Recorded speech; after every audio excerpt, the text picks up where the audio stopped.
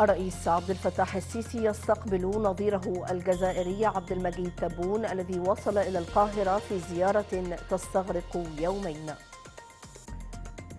خلال اجتماع وزاري الرئيس عبد الفتاح السيسي يتابع الموقف التنفيذي لمجمل المشروعات القومية لوزارة الإسكان على مستوى الجمهورية.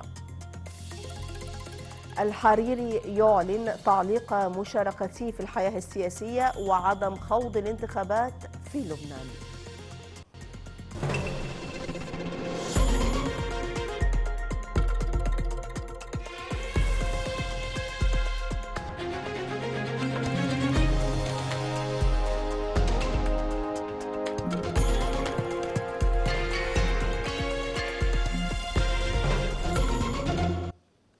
بانوراما نيل ساعة إخبارية شاملة. أهلا بكم.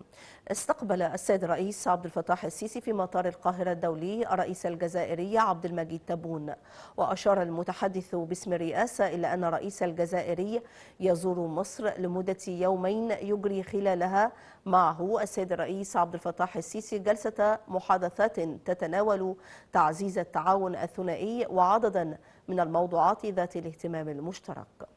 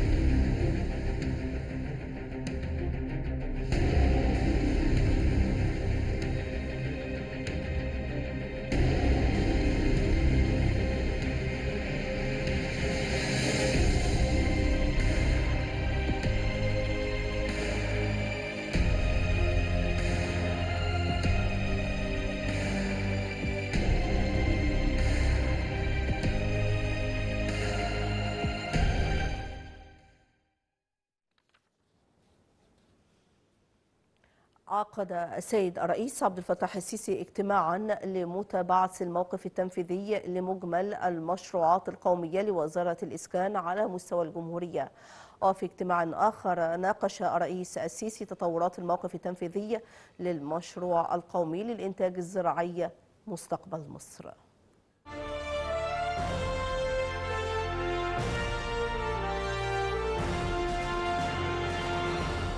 اجتمع السيد الرئيس عبد الفتاح السيسي مع الدكتور مصطفى مدبولي رئيس مجلس الوزراء والدكتور عاصم الجزار وزير الإسكان والمرافق والمجتمعات العمرانية. وصرح المتحدث الرسمي باسم رئاسة الجمهورية بأن الاجتماع تناول متابعة الموقف التنفيذي لمجمل المشروعات القومية لوزارة الإسكان على مستوى الجمهورية خاصة فيما يتعلق بمدن الجيل الرابع وتطوير محافظة القاهرة. وقد عرض السيد وزير الإسكان مستجدات الموقف الحالي لمختلف المشروعات في إطار مدن الجيل الرابع وفي مقدمتها العاصمة الإدارية الجديدة لا سيما منطقة الأبراج المركزية وكذلك الأحياء السكنية المختلفة فضلا عن منطقة النهر الأخضر. وفي هذا السياق تابع السيد الرئيس الموقف التنفيذي للإسكان الخاص بالموظفين في العاصمة الإدارية وذلك تمهيدا لبدء الانتقال الفعلي إلى العاصمة خاصة ما يتعلق بتوزيع الوحدات السكنية. البالغ عددها حوالي 30 ألف وحدة موجها سيادته في هذا الإطار بالالتزام بالجدول الزمني للتنفيذ وفق أعلى معايير الجودة المخططة. كما تم استعراض الموقف التنفيذي للمرافق والمنشآت والخدمات بمدينة العالمين الجديدة. وكذلك سير العمل في مدينة المنصورة الجديدة بعناصرها السكنية والإنشائية والخدمية المتنوعة. فضلا عن عدد من المشروعات التي تتم بمدينة رأس البر تحت إشراف هيئة المجتمعات العمرانية الجديدة في سياق تطوير تلك البقعة الساحلية المتميزة. وفيما يتعلق بمحافظة القاهرة اطلع السيد الرئيس على مستجدات العمل في المشروعات الحالية لتطوير منطقة القاهرة الخديوية امتدادا لتطوير ميدان التحرير خاصة ما يتعلق بأعمال ترميم الواجهات للمباني التراثية العريقة انطلاقا من ميدان التحرير مرورا بميداني طلعت حرب ومصطفى كامل ووصولا إلى منطقة ميدان العتبة. موجها سيادته بتطوير تلك المسارات بالكامل واستعادة رونقها كمصدر جذب سياحي وترفيهي وثقافي. وذلك بالإضافة إلى بدء التطوير الحضاري لحديقة الأزبكية لاسترجاع مكانتها كإحدى أهم الحدائق التراثية بالعاصمة. كما تم في ذات الإطار عرض مستجدات تطوير منطقة سور مجرى العيون بشقيها السكني وكذا التجاري والترفيهي فضلا عن تطوير منطقة مثلث مسبيرو حيث وجه السيد الرئيس في هذا الصدد بسرعة الانتهاء من أعمال أبراج السكن البديل بمسبيرو لإعادة تسكين المواطنين فيها في أقرب وقت ممكن. كما اطلع السيد الرئيس على موقف الوحدات السكنية التي يتم تنفيذها ضمن المبادرة الرئاسية سكن لكل المصريين. بما في ذلك إتاحة مبدأ إيجار الوحدات السكنية في إطار المبادرة تنفيذا لتوجيهات سيادته في هذا الصدد. كما اجتمع السيد الرئيس عبد الفتاح السيسي مع الفريق محمد عباس حلمي قائد القوات الجوية. واللواء أمير سيد أحمد مستشار رئيس الجمهورية للتخطيط العمراني. والمقدم طيار بهاء الدين الغنام مدير مشروع مستقبل مصر. الاجتماع تناول متابعة تطورات الموقف التنفيذي للمشروع القومي للإنتاج الزراعي مستقبل مصر ضمن نطاق المشروع العملاق الدلتا الجديدة الذي يستهدف استصلاح أكثر من 2 مليون فدان. وقد اطلع السيد الرئيس في هذا الإطار على تطورات المراحل الحالية والمستقبلية لمشروع مستقبل مصر الذي يعتبر إضافة ضخمة للمشروعات القومية في مجال الزراعة والغذاء. ويعزز من استراتيجية الدولة لزيادة نسبة رقعة الأراضي الزراعية على مستوى الجمهورية وتوفير الآلاف من فرص العمل في التخصصات المختلفة. كما تابع السيد الرئيس تفاصيل سير العمل بمكونات البنية الأساسية لمشروع مستقبل مصر من طرق ومحاور وآبار مياه ومحطات معالجة المياه وشبكة تغذية الكهرباء. فضلا عن منظومة التصنيع الزراعي بالمشروع وما تضمه من صوامع ومبردات ومعامل تحاليل ومحطات للفرز والتعبئة. وأضاف المتحدث الرسمي أن الاجتماع شهد أيضا عرض الموقف التنفيذي لمجمع الصوب الزراعية بمنطقة اللاهون بمحافظة الفيوم. وذلك في إطار المشروع القومي للصوب الزراعية الذي سيمثل بدوره قيمة مضافة لقطاع المنتجات الغذائية للدولة. Bye.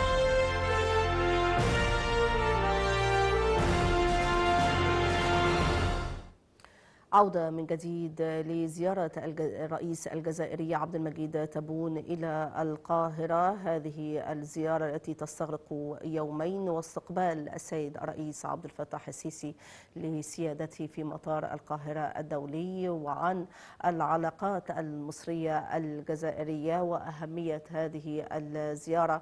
ينضم إلينا عبر الهاتف الدكتور مختار غباشي نائب رئيس المركز العربي للدراسات السياسية والاستراتيجية الاستراتيجية. دكتور غباشي بعد تحية كيف تثمن العلاقات المصرية الجزائرية تزامنا مع زيارة الرئيس الجزائري عبد المجيد تبون في ظل حرص مصر على الدفع قدما بأطر التعاون المختلفة على شتى الأصعدة والمجالات؟ يعني بالتأكيد العلاقات بين مصر والجزائر علاقة أخوة علاقة مهمة جدا وعلاقة جيدة جدا. كانت هناك زيارة للعمامرة وزير الخارجية الجزائري قبل مجيء عبد المجيد تبون ومتصور إنه في زيارة وزير الخارجية الجزائري نقل رسالة من عبد المجيد تبون فيما هو مرتبط بآليات انعقاد القمة العربية القادمة في الجزائر وسبل نجاحها. القضايا الملحه اللي هتعرض على اجنده هذه القمة آه، وأطر آه، يعني مش عايز أقول إلزام ولا أطر عمل الدول العربية آه، لنجاح آه، هذه القضايا. آه، تجاذبات القوى الإقليمية والقوى الدولية في العالم العربي. آه، أيضا مسألة متصور إنها تكون على أجندة هذه المباحثات. الوضع داخل الساحة الليبية بالتأكيد الوضع بالنسبة للساحة اليمنية القضية الفلسطينية. العلاقات العالم العربي وبعضه وبعض علاقه إلى حد كبير جدا في أمس الحاجة إلى معالجة. آه، قضايا كثيرة موجودة على أجندة آه، زيارة آه، الرئيس عبد المجيد تبون لمصر. وتأهيل الجزائر لاستقبال القمة العربية آه، القادمة ونجاحها آه، يعني مطلوب تنسيق قوي مع مصر. وتنسيق قوي مع السعودية ومع الخليج إذا عن. هذا آه، التنسيق دكتور غباشي والإجراءات المتخذة والاستعدادات آه، المتنوعة لإقامة وانعقاد آه، القمة العربية القادمة في الجزائر هل ترى أن هناك موضوعات ربما ستكون على رأس الأولويات وعلى رأس الأجندة العربية بشكل عام؟ يعني أتصور ليبيا يعني هتكون أجندة مهمة جدا في القمة العربية القادمة لأنه الجزائر إحدى دول الجوار ومعنية بالشأن الليبي مصر إحدى دول الجوار المهمة وصانعة آه، ويعني متدخلة في الأحداث والواقع داخل الساحة الليبية بحكم الحدود المشتركة آه، ومن الأهمية أن يكون هناك تنسيق متبادل مصري جزائري في هذا النطاق ويعرض هذا الأمر على عموم القادة العرب في خلال القمة القادمة بالتأكيد. الجزائر استضافت فتح وحماس على أرضها آه، املا في مصالحة فلسطينية. نستطيع من خلالها أن نحيي هذه القضية وأن نتحدث بلسان واحد ويد واحدة آه، مع كيان غاصب آه، يعني لا يريد دولة ولا يعطي أمل لقيام دولة فلسطينية مطلوب بشكل أو بآخر أن تبحث آليات الوضع بالنسبة للساحة الفلسطينية. التوترات الموجودة في بعض الدول العربية الساحة اللبنانية ساحة ساخنة ملتهبه ومطلوب عالم عربي يتكاتف لإنقاذ هذه الدولة ومطلوب أن تكون أجندة الوضع اللبناني معروض على هذه القمة. خلينا أقول لك الأحداث كثيرة جدا موجودة في العالم العربي. السودان صحيح. والأحداث الساخنة الموجودة فيها تونس والأحداث ال ال يعني المتلاحقة وشكل التطحن السياسي. العالم العربي يا سيدتي في وضع ملتهب وفي وضع ساخن وتتكالب عليه كثير جدا من القوى الإقليمية والقوى الدولية وهو عاجز عن حل قضية ومن. هنا يأتي أهمية الوعي بهذا التكالب والاستعداد الجيد له لمواجهة ومجابهة هذه التدخلات الخارجية للأسف في الشؤون العربية الداخلية. أشكرك جزيل الشكر الدكتور مختار غباشي نائب رئيس المركز العربي للدراسات السياسية والإستراتيجية. انطلقت فعاليات التدريب المشترك المصري السعودي مرجان 17 والذي تجرى فعالياته بالسعودية ويستمر لعدة أيام. ويأتي في إطار خطة التدريبات المشتركة للقوات المسلحة المصرية والسعودية ويتضمن العديد من المحاضرات النظرية والمؤتمرات التدريبية وكذلك تنفيذ العديد من البيانات العملية والأنشطة. وافق مجلس النواب برئاسة المستشار الدكتور حنفي جبالي على مجموع مشروع قانون مقدم من الحكومة بإصدار قانون إنشاء صندوق السياحة والآثار. جاء ذلك خلال الجلسة العامة اليوم. باعتبارها أحد أهم مصادر الدخل القومي إلى جانب كونها مصدرا مهما لتوفير العملة الصعبة جاءت موافقة مجلس النواب من حيث المبدأ على مشروع قانون مقدم من الحكومة لإصدار قانون المنشآت السياحية والفندقية. حيث يهدف مشروع القانون إلى تشجيع الاستثمار السياحي وتوفير فرص العمل إلى جانب تيسير إجراءات استخراج تراخيص المنشآت السياحية والفندقية. كما يهدف مشروع القانون إلى إدراج مقاصد ومدن سياحية جديدة على الخريطة السياحية لمصر للارتقاء بالقطاع السياحي وتنميته وذلك في إطار خطة الدولة لتحقيق التنمية المستدامة. ونصت المادة الأولى من مواد الإصدار على أن تسري أحكام هذا القانون على جميع المنشآت السياحية والفندقية الوارد ذكرها في المادة واحد من القانون باستثناء المنشآت التابعة لوزارتي الدفاع والداخلية والجهات التابعة لهما لما لهذه المنشآت من طبيعة خاصة. المجلس وافق على مشروع القانون من حيث المبدأ وناقش عددا من مواده وأرجى استكمال النقاش حوله لجلسة لاحقة. كما وافق المجلس على مجموع مواد مشروع قانون مقدم من الحكومة بإصدار قانون إنشاء صندوق السياحة والآثار. وكان المجلس قد استعرض في بداية الجلسة تقرير لجنة المقترحات والشكاوى والذي جاء متضمنا عددا من الشكاوى والمقترحات تقدم بها النواب للحكومة وجميعها تتعلق بتحسين الخدمة المقدمة للمواطنين. هذا إلى جانب إحالة عدد من مشروعات القوانين إلى اللجان المختصة لمناقشتها وإعداد تقارير بشأنها. زيادة موارد الدولة من القطاع السياحي وتوحيد الجهات المعنية بإصدار تراخيص المنشآت السياحية والفندقية أحد أهم الأسباب التي دعت الحكومة للتقدم بمشروع قانون لإصدار قانون المنشآت السياحية والفندقية. كما أن موافقة المجلس على مجموع مواد مشروع قانون بإصدار قانون صندوق السياحة والآثار تأتي في إطار الحرص على دعم وتنشيط القطاع السياحي والحفاظ على الآثار والإرث الحضاري. من مجلس النواب محمود إسماعيل النيل.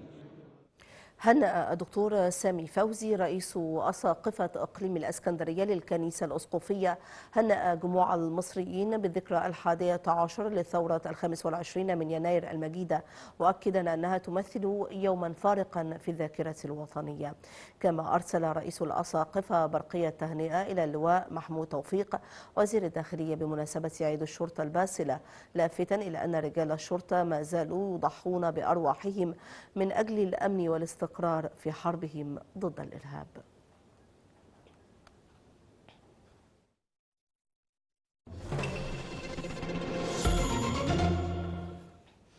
شارك وزير الخارجية سامح شكري الرئيس المعين للدورة السابعة والعشرين لمؤتمر أطراف تغير المناخ.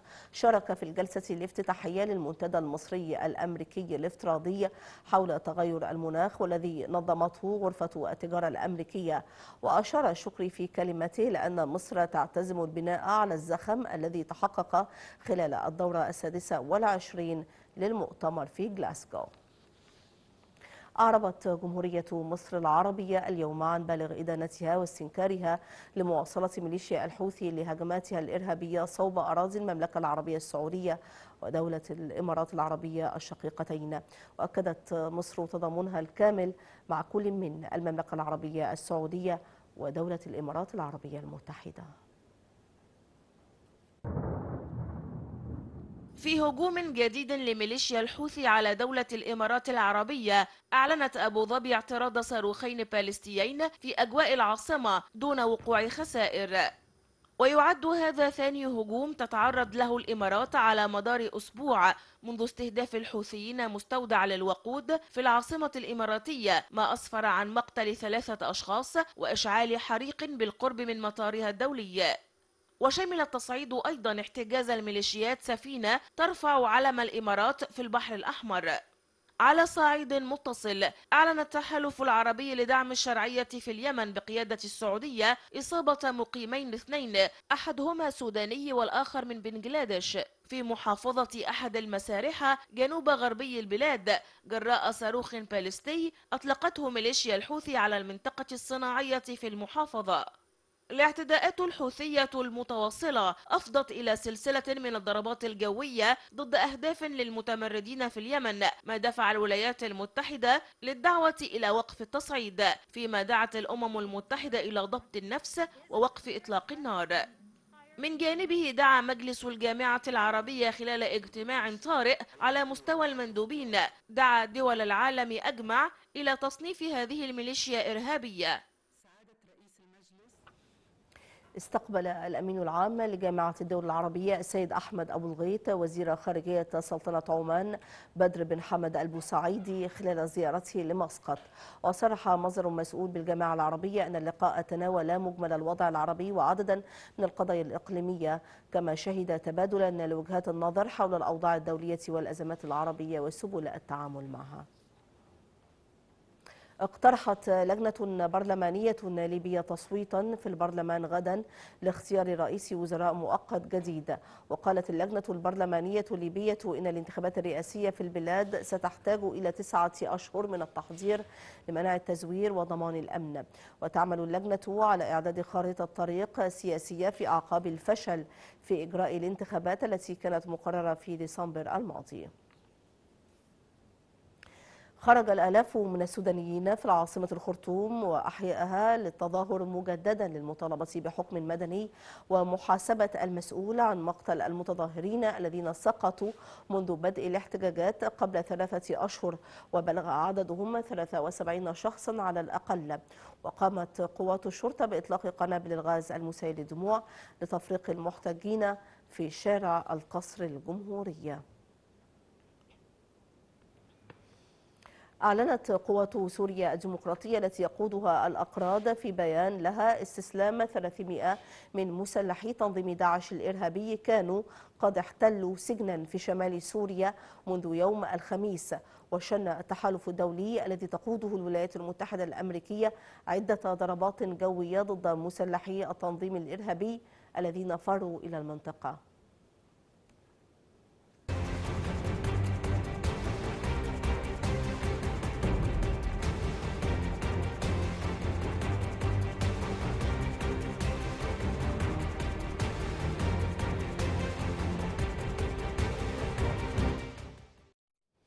قال رئيس الوزراء اللبناني الأسبق سعد الحريري اليوم إنه لن يخوض الانتخابات البرلمانية القادمة وأنه قرر تعليق مشاركته في الحياة السياسية.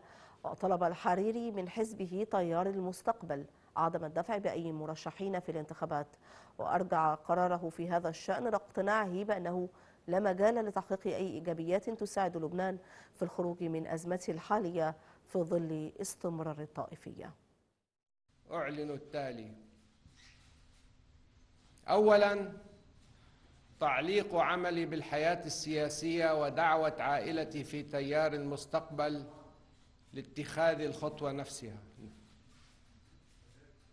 ثانيا عدم الترشح للانتخابات النيابية وعدم التقدم بأي ترشيحات من تيار المستقبل أو باسم التيار.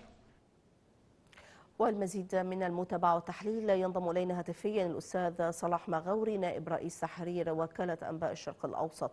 أستاذ صلاح بعد تحية كيف ترى قرار الحريري وإعلانه بتعليق عمله بالسياسة وعدم الترشح باسم تيار المستقبل في الانتخابات القادمة وما له من تداعيات وتبعات مختلفة؟ هو قرار السيد سعد الحريري اليوم ينم عن غضب شديد و يعني شعور من جهته بحالة من الإحباط لم تكن موجودة من قبل. سعد الحريري تولى رئاسة الحكومة اللبنانية لثلاث مرات بدءا من العام 2009 انتهاء عندما قدم استقالته بعد الأحداث التي شهدها لبنان في 17 أكتوبر من عام 2019 الاحتجاجات الشعبية التي يعني خرجت للتعبير عن غضب الشعب اللبناني تجاه الساسة والسياسيين الموجودين على الساحة السياسية. الأمر الذي تفاقمت معه الأوضاع انتهاء بانفجار مرفأ بيروت الذي فاقم الوضع على نحو لم يشهده لبنان منذ فترة طويلة. الحريري فشل في أن يكون له بصمة في إحياء المسار السياسي في لبنان رغم التنازلات التي قدمها على مدار الفترة الماضية و يعني شعوره بالمسؤولية الوطنية الذي يعني جعله يتفاوض مع من أجل التوصل إلى حلول للأزمة التي تشعبت بسبب خلو المنصب الرئاسي بسبب عدم التوافق بين الأصدقاء اللبنانيين مما جعله يضطر للتوافق بين بينه وبين خصومه التقليديين وفقده لبعض مناصريه وبعض يعني المتحالفين معه يعني اعتراضا على التفاهم الذي أقدم عليه مع عدد من الذين كان يعارضهم أو يعارضونه املا في أن يدفع بالحياة السياسية نحو أفاق أوسع وعدم الوصول إلى طريق مسدود. لكن ما حدث في العامين الماضيين تحديدا من تفاقم الوضع الاقتصادي وانهيار الليرة الليره اللبنانية على نحو آه، لم يسبق له مثيل حتى خلال فترة الحرب الأهلية التي مر بها لبنان. إذا حالة الغضب من الوضع آه، الحالي هو ما دفع آه، سعد الحريري إلى عدم الترشح وعدم الخوض في أي من الحياة السياسية. كما ذكرت في كلماتك الآن أشكرك جزيل الشكر الأستاذ صلاح مغاوري نائب رئيس تحرير وكالة أنباء الشرق الأوسط. دعا آه، رئيس مجلس الوزراء اللبناني نجيب ميقاتي إلى أن تستأنف حكومته المعروفة باسم معا للإنقاذ مهامها بجدية وفاعلية. مشددا على أن التحديات الراهنة لم تعد تسمح بأي تأخير على كافة الأصعدة المالية والاجتماعية والاقتصادية معبرا عن سعادته بعودة جلسات مجلس الوزراء. جاء ذلك خلال أولى جلسات مجلس الوزراء بعد تعطيل دام لأكثر من ثلاثة أشهر. عقدت الجلسة بقصر الرئاسة ببعبدة برئاسة رئيس الجمهورية ميشيل عون. ثم تحدث الرئيس ميقاتي فقال ليسعدني أن نعاود جلسات مجلس الوزراء بعد انقطاع وأن تستأنف حكومة معا للإنقاذ مهامها بجدية وفاعلية لأن التحديات الحاضرة والداهمة لم تعد تسمح بأي تأخير ماليا واجتماعيا واقتصاديا. وقال الوقت المتبقي قبل موعد الانتخابات النيابية صار ضاغطا جدا وسنحاول قدر المستطاع إنجاز المسائل الأساسية المرتبطة أولا بالحياة اليومية للمواطنين وبملف الكهرباء والموازنة واستجرار الغاز والنفط. وأضاف أملي أن تكون جلساتنا مثمرة ونتعاون فيها بروح المسؤولية بعيدا عن أي خلافات وأن ننطلق من أن الناس لم تعد تتحمل المناكفات قال الرئيس اللبناني ميشيل عون إن انقطاع جلسات مجلس الوزراء أثر سلبا على انتظام عمل السلطة الإجرائية وزاد من تراكم الانعكاسات السلبية على الوضع العام في البلاد. جاء ذلك في بيان تلاه وزير الإعلام بالوكالة وزير التربية والتعليم عباس حلبي عقب انتهاء الجلسة. في مسهل الجلسة رحب الرئيس عون بالوزراء بعد طول انقطاع. تجمع خلالها عمل السلطة التنفيذية ممثلة بمجلس الوزراء. وإن كان استمر عمل الوزراء إفراديا أو عبر اللجان الوزارية. وأضاف انقطاع جلسات مجلس الوزراء أثر سلبا على انتظام عمل السلطة الإجرائية. وزاد في تراكم الانعكاسات السلبية على الوضع العام في البلاد.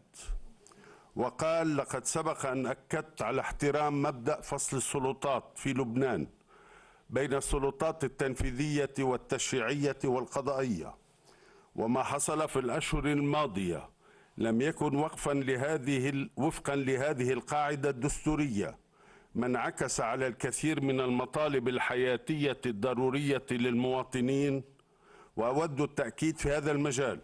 على أنه عندما تكون الحكومة غير مستقيلة لا يمكن لرئيسي الجمهورية والحكومة إصدار موافقات استثنائية.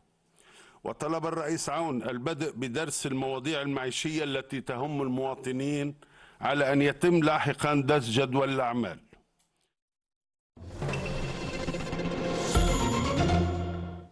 عودة إلى الشأن المحلي حيث يتوقع خبراء هيئة الأرصاد الجوية أن يسود طقس بارد نهارا شديد البرودة ليلا على القاهرة الكبرى والوجه البحري والسواحل الشمالية الغربية والسواحل الشمالية الشرقية ووسط سيناء وشمال الصعيد. معتدل على جنوب سيناء وسلاسل جبال البحر الأحمر على مدار الأيام القادمة. مع موجة الانخفاض الشديد والملحوظ في درجات الحرارة التي تشهدها البلاد تتوقع هيئة الأرصاد الجوية أن تستمر الأجواء الباردة خلال ساعات النهار شديدة البرودة ليلا على كافة الأنحاء خلال اليوم والأيام المقبلة. يستمر انخفاضات درجات الحرارة على كافة مناطق الجمهورية اليوم وعلى مدار هذا الأسبوع. يمكن كمان الانخفاضات هتبقى ملحوظة يوم الأربع والخميس القادمين بإذن الله. إحنا اليوم طبعا لسه متأثرين بالكتل الهوائية القادمة من طبعا جنوب وشرق أوروبا الكتل دي كتل هوائية شديدة البرودة هي اللي بتعمل على انخفاضات درجات الحرارة. الانخفاض ده ملحوظ خلال فترة النهار وفترة الليل. الطقس بيكون خلال آه، ساعات ال- النهار بارد على السواحل الشمالية للبلاد. القاهرة الكبرى محافظات الوجه البحري محافظات شمال الصعيد. وحذرت هيئة الأرصاد المواطنين من موجة البرد التي تصل إلى حد الصقيع في بعض المناطق ليلا مع توقعات لسقوط الأمطار من خفيفة إلى متوسطة. متوقع بإذن الله بداية من يوم الأربعاء أن تصل إلينا الكتل الهوائية شديدة البرودة القادمة من مناطق جنوب وشرق أوروبا بشكل أسرع إلى داخل الأراضي المصرية. ده بيؤدي في حد ذاته إلى نقل الكتل الهوائية إلى داخل الأراضي المصرية دون تعديل كبير بسبب إنها بتعدي على البحر المتوسط بشكل سريع. بتصل إلى الأراضي المصرية درجات حرارة منخفضة جدا يوم الأربعاء القادم بإذن الله. متوقع أن تكون العظمى على كافة الجزء الشمالي من الجمهورية بداية من سواحلنا الشمالية ومحافظات القاهرة الكبرى وشمال الصعيد إلى 13 درجة مئوية بالفعل على هذه المناطق أعلى درجة حرارة بيتم تسجيلها على مدار اليوم. هذا ويسود طقس شديد البرودة ليلا مع توقعات سقوط أمطار على السواحل الشمالية والدلتا والوجه البحري وسيناء وتصل إلى القاهرة.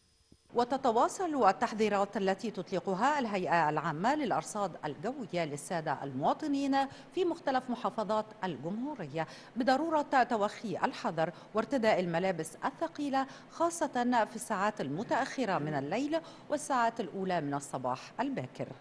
من داخل الهيئة العامة للأرصاد الجوية أمل صبري النيل. بدر منيل متواصلة معكم ونتابع فيها بعد الفاصل. أنباء عن تقديم رئيس بوركينا فاسو استقالته من منصبه بعد انقلاب عسكري.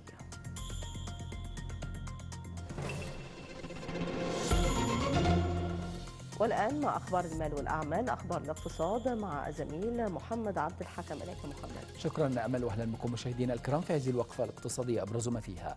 رئيس الوزراء يوجه بسرعة تنفيذ وحدات سكن كريم بالتعاون مع الجمعيات الأهلية.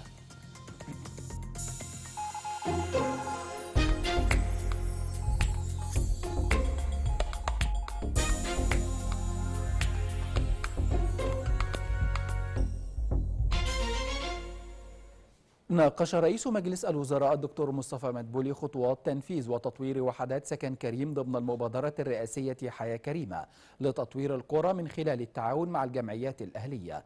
وأشار رئيس الوزراء إلى أنه تم إعداد حصر للوحدات الغير ملائمة في القرى لتطويرها من أجل توفير حياة كريمة للأهالي. كما وجه رئيس الوزراء أيضا بسرعة تحديد المواصفات التي سيتم توحيدها عند تطوير الوحدات السكنية مع مراعاة أن يتم الالتزام برسومات هندسية محددة إلى جانب تحديد الأسعار. كما عقد رئيس مجلس الوزراء الدكتور مصطفى مدبولي اجتماعا مع رؤساء وممثلي المجالس التصديرية بهدف مناقشة مقترحاتهم بشأن زيادة الصادرات المصرية خلال الفترة المقبلة. وخلال الاجتماع وجه مدبولي بالاستمرار في العمل على زيادة الصادرات خلال الفترة المقبلة بعدما سجلت خلال العام الماضي. أكثر من 32 مليار دولار كما أعرب مدبولي عن استعداد الحكومة لتقديم كل التسهيلات الممكنة من أجل تحقيق هذه المستهدفات لإحداث طفرة وقفزات ملموسة في هذا القطاع. ألقى رئيس مجلس الوزراء الدكتور مصطفى مدبولي كلمة في المنتدى الذي تنظمه غرفة التجارة الأمريكية في مصر لتعزيز التعاون بين القطاعين العام والخاص في تحدي تحديات المناخ. وخلال كلمته أشار مدبولي إلى أن مصر تلتزم استثمار رئاستها القادمة لمؤتمر الأطراف وقيادتها للعمل المناخي العالمي لتعزيز الاستدامة والانتقال نحو الاقتصاد الأخضر. كما لفت, لفت مدبولي إلى أن هناك إمكانيات هائلة للتعاون بين مصر والولايات المتحدة في هذه المجالات. عقد وزير المالية محمد معيد جلسة حوار مجتمعية مع رجال التجارة والصناعة لمناقشتهم حول مشروع الموازنة العامة للدولة للعام المالي 2022-2023 واستعرض الوزير خلال اللقاء جهود الدولة خلال جائحة كورونا وكيف تخطت تلك المرحلة. عقد الدكتور محمد معيط وزير المالية الحوار المجتمعي الأول مع رجال التجارة والصناعة لمناقشتهم حول مشروع الموازنة العامة للدولة للعام المالي 2022-2023 والذي استعرض خلاله معيط ما واجهته الدولة من صعوبات مالية خلال بداية جائحة كورونا وما استطاعت إنجازه حتى الآن وما تصبو إليه الدولة من تحقيق إنجازات جديدة. الحوار كان إيجابي بدرجة كبيرة جدا جدا أفكار ممتازة وتفاعل آه، يعني كان عظيم. خاصة في الأهداف الاستراتيجية للدولة إزاي إن إحنا نقدر من خلال آه، يعني آه، إجراءات ومستهدفات داخل الموازنة نتحرك في اتجاه آه، يعني زيادة صادرات مصر إلى 100 مليار دولار زيادة الإنتاج الصناعي. الحاضرون من رجال الصناعة والتجارة طرحوا أفكارهم وعرضوا المشكلات التي تواجههم أثناء العمل للخروج بتوصيات أو أفكار بناءة. لحل تلك العقبات التي تواجههم وكيفية تطبيق مقترحاتهم على أرض الواقع. قالوا إنه مثلا على سبيل المثال ودي عجبتني كفكرة إنه عاوزين مراكز تدريب وتدريب على ال- الصناعات تكون بتقدم لها حوافز زي مثلا ان هو ما يبقاش خاضع في فترة تدريب وضريبة كسب عمل ولا لتأمينات ولا لأي رسوم.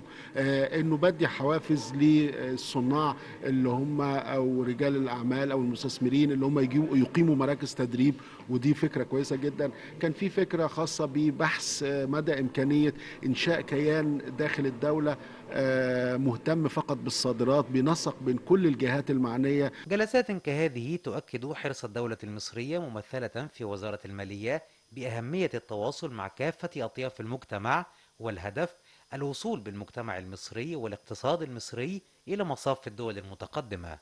عمر حمزة النيل.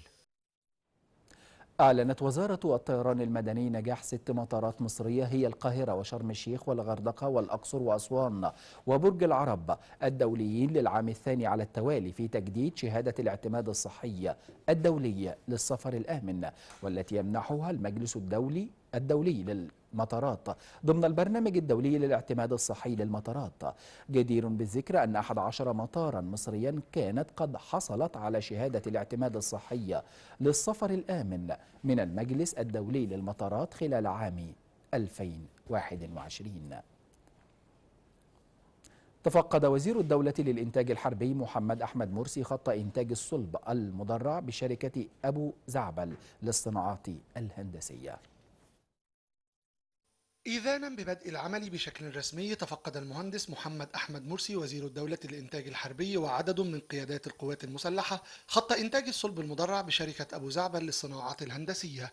هذا المشروع بيأتي في إطار توجيهات السيد الرئيس عبد الفتاح السيسي رئيس الجمهورية بتوطين صناعة الصلب المدرع من خلال وزارة الإنتاج الحربي لما تمتلكه من إمكانيات بشرية وتصنيعية وتكنولوجية ومعملية تضاهي مثيلتها في الدول الأخرى التي تعمل في هذا المجال. وخلال كلمته أوضح وزير الدولة للإنتاج الحربي أن مشروع تصنيع الصلب المدرع يأتي في إطار استراتيجية الدولة لزيادة الاعتماد على قدرات التصنيع المحلي وتوطين صناعة الصلب المدرع التي تسهم في تأمين احتياجات الأمن القومي المصري. نظرا لدخول مصر عصر إنتاج العربات المدرعة مما يتطلب معه للحفاظ على الاستقلالية. إنتاج صلب مدرع عالي الإجهاد يحقق الوقاية طبقا للمواصفة العسكرية العالمية وهو ما كان يتم استيراده من الخارج بصعوبة بالغة وبتكلفة عالية. بالعملة الصعبة وفي توقيتات قد تكون غير مناسبة حيث أن مصانع إنتاج الصلب المدرع في العالم لا تتعدى خمس مصانع تقوم باحتكار المنتج وتفرض أسعار باهظة ثمنا له. ويتعاون مصنع مئة الحربي التابع لشركة أبو زعبل للصناعات الهندسية مع إحدى شركات القطاع الخاص العملاقة الرائدة في استخدام أحدث التكنولوجيات في مجال صناعة الصلب الإعلان الرسمي عن إنتاج وتصنيع ألواح الصلب المدرع محليا يعد نقلة نوعية على طريق امتلاك تكنولوجيا صناعية متطورة تدعم عملية الاكتفاء الذاتي من إنتاج وتصنيع الخامات الاستراتيجية والحيوية محليا ما يسهم في تحقيق أهداف التنمية المستدامة للدولة المصرية. علي فتحي النيل. نهاية الوقفة الاقتصادية ونعود من جديد إلى زميلتي أمل نعمان. إليك أمل. أشكرك محمد. أفادت الأنباء أن رئيس بوركينا فاسو روك كابري استقال من منصبه ولم يعرف بعد مصيره في حين أعلن ضابط في جيش بوركينا فاسو تعليق العمل بالدستور وإقالة الحكومة وحل البرلمان. انطلقت المحادثات بين ممثلين عن طالبان ودبلوماسيين غربيين في أوسلو اليوم تتركز على الأزمة الإنسانية في أفغانستان حيث يعاني الملايين من الجوع وفقا لما أعلنته الخارجية النرويجية. وفي أول زيارة يجريها ممثلون عن طالبان منذ عادوا إلى السلطة في أغسطس التقى أعضاء الوفد بقيادة وزير خارجية حكومة الحركة أمير خان مطقي بممثلين عن الولايات المتحدة الأمريكية وفرنسا وبريطانيا وألمانيا وإيطاليا والاتحاد الأوروبي والنرويج. أعلن حلف شمال الأطلسي الناتو أن دولة تحاضر قوات احتياطية في حالة تأهب وأرسلت سفنا ومقاتلات لتعزيز دفاعاتها في أوروبا الشرقية ضد الأنشطة العسكرية الروسية على حدود أوكرانيا. وقال الأمين العام لحلف شمال الأطلسي يانس ستولتنبرغ إن حلف شمال الأطلسي سيواصل اتخاذ كل الإجراءات اللازمة للحماية والدفاع عن كل الأعضاء لا سيما من خلال تقوية دول التحالف الشرقية. والآن مع أخبار الكرة والملاعب أخبار الرياضة ومن جديد عودة للزميل محمد عبد الحكم. إليك محمد. شكرا أمل وهلا صلاح الدين من أقدم المتاحف التي تم إنشاؤها لتجسيد بطولات رجال الشرطة المصرية عبر التاريخ القديم والحديث والذي يضم مقتنيات لأجهزة الأمن المصرية والوثائق الخاصة بالجرائم والقضايا المشهورة ومحاكاة لكفاح الشرطة ضد الاستعمار. حكايات تاريخية ووطنية على مدى العصور تعيد أحداث وبطولات رجال الشرطة المصرية وكفاحها ضد الاستعمار خلدها متحف الشرطة القومي بقلعة صلاح الدين الأيوبي بالقاهرة والذي يهدف إلى إبراز تاريخ الشرطة منذ أقدم العصور ويحتوي على مقتنيات أجهزة الأمن المصرية وملابس أفراد الشرطة وبعض الصور لمشاهير الضباط والمجرمين والوثائق الخاصة بالقضايا والجرائم المشهورة وبعض ما استخدم فيها من أسلحة في ذلك الوقت. أهمية متحف الشرطة في موقعه إن هو من بداية من العصر المملوكي للعصر الحديث. المتحف بيضم ست قاعات. أول قاعة قاعة اللي هي الاغتيالات السياسية منها اغتيال الرئيس جمال عبد الناصر واغتيال النقراشي واغتيال أحمد باشا ماهر.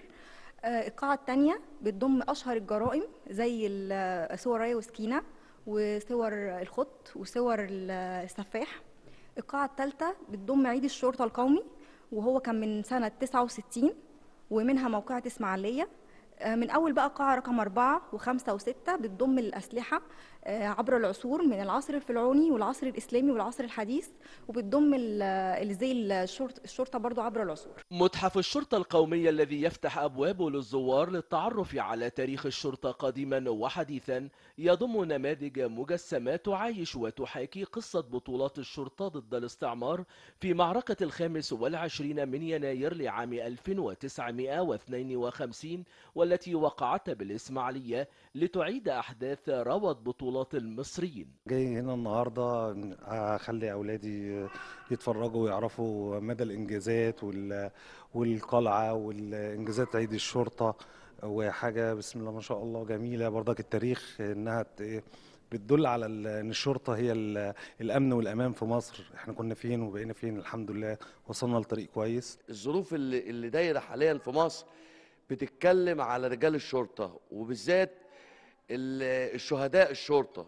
دايما شهداء الشرطة دي لما تيجي تتكلم عليها نتكلم عليها ده ده ما هنقول إيه ولا إيه؟ بيضحوا تضحية فوق ما تتخيل. قضايا الاغتيال السياسي والتزوير وما استخدم في تزوير العملة من آلات والأسلحة المستخدمة قديما كالسهام والأقواس والدروع نماذج مجسمة نسجها متحف الشرطة ليعبر عن الأصالة والتراث المشرف والوطني لكل مصري. صفحات بطولية لتاريخ ونضال الشرطة المصرية عبر العصور يتم تجسيدها داخل متحف الشرطة القومي والذي يحتوي على عدد من القطع الأثرية النادرة لرجال الشرطة والأدوات التي كانوا يستخدمونها ليظل المتحف شاهدا على تضحيات رجال الشرطة وعطائهم المستمر في الدفاع عن أمن مصر وحماية المصريين والحفاظ على سلامتهم. من داخل متحف الشرطة القومي بالقلعة. أحمد ممدوح النيل ختاما هذا تذكير بأهم عناوين الأخبار. الرئيس عبد الفتاح السيسي يستقبل نظيره الجزائري عبد المجيد تبون الذي وصل إلى القاهرة في زيارة تستغرق يومين. خلال اجتماع وزاري الرئيس السيسي يتابع الموقف التنفيذي لمجمل المشروعات القومية لوزارة الإسكان على مستوى الجمهورية. الحريري يعلن تعليق مشاركته في الحياة السياسية وعدم خوض الانتخابات في لبنان. نهاية هذه النشرة الإخبارية المفصلة والتي أتيناكم بها من قناة النيل للأخبار من قلب القاهرة ومنها لكم كل تحية.